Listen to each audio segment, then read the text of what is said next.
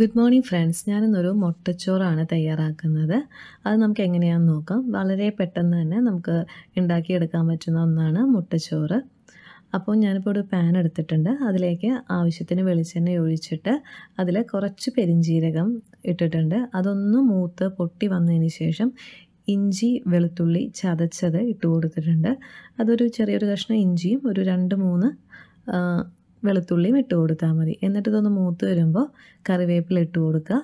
ഇതൊന്ന് ഫ്രൈ ആയിട്ട് വരണം. നല്ലൊരു സ്മെല്ല് വരും. അപ്പം അതുവരെ നമ്മൾ ഇങ്ങനെ ഒന്ന് ഇളക്കി കൊടുക്കാം.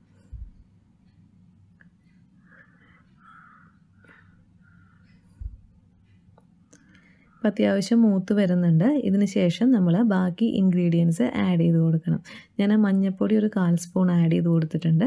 എന്നിട്ട് ഒന്നും കൂടി നമ്മൾ ഇതേപോലെ ഒന്ന് ഇളക്കി കൊടുക്കാം. ഇതപ്പോൾ അത്യാവശ്യം നന്നായിട്ട് മൂത്ത് വന്നിട്ടുണ്ട്. ഇനി അടുത്തത് ആഡ് ചെയ്യുന്നത് കിച്ചൺ ട്രഷേഴ്സിന്റെ ചിക്കൻ മസാലയാണ് അതൊരു അര സ്പൂൺ അല്ലെങ്കിൽ മുക്കാൽ സ്പൂൺ നമ്മൾ എത്രയാണോ ചോറ് എടുക്കുന്നത് അതനുസരിച്ചിട്ടാണ് ഇട്ട് കൊടുക്കേണ്ടത്. ഇപ്പോൾ നന്നായിട്ട് മൂത്ത് വരുന്നുണ്ട്.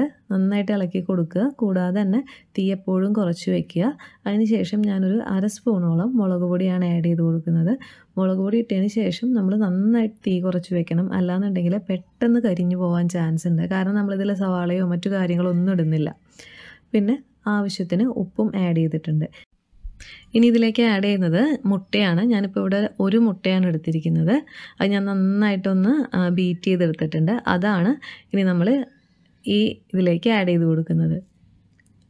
അപ്പോൾ അതും കൂടിയും ഒഴിച്ചു കൊടുത്തതിന് ശേഷം നന്നായിട്ടൊന്ന് ചിക്കി എടുക്കുക നമ്മുടെ പാത്രത്തിൽ പെട്ടെന്ന് ഒട്ടിപ്പിടിക്കും മുട്ടയായതുകൊണ്ട്. അപ്പോൾ നന്നായിട്ട് അതൊന്ന് കൈയെടുക്കാതെ ഇളക്കുക. എന്നിട്ട് നന്നായിട്ടൊന്ന് ഫ്രൈ ആവുന്ന തരത്തിലൊന്ന് ചെയ്തെടുക്കുക. ഇതേപോലെ.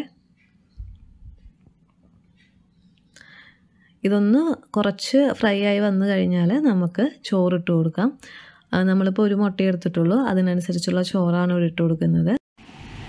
ഞാനിവിടെ രണ്ട് രണ്ടര കയ്യിൽ ചോറാണ് ഇട്ട് കൊടുക്കുന്നത്. ഇപ്പം നമുക്ക് മുട്ട കൂടുതലുണ്ടെങ്കിൽ അതിനനുസരിച്ചിട്ട് ചോറ് ആഡ് ചെയ്യാം. ഞാൻ അത്രയും ആഡ് ചെയ്യുന്നില്ല. കുറച്ച് ചോറ് ആഡ് ചെയ്ത് കൊടുക്കുന്നുള്ളൂ. ഇത് നന്നായിട്ടൊന്ന് നമുക്ക് ഇളക്കി ആ മസാലയൊക്കെ ഒന്ന് മിക്സ് ചെയ്തെടുക്കാം. ഒരു ഒരു അഞ്ച് മിനിറ്റും കൂടി ഇത് ഇളക്കിയിട്ട് ജസ്റ്റ് ഒന്ന് ഫ്രൈ ആവുന്ന ഇതിലൊന്ന് ചെയ്തെടുത്താൽ മതി.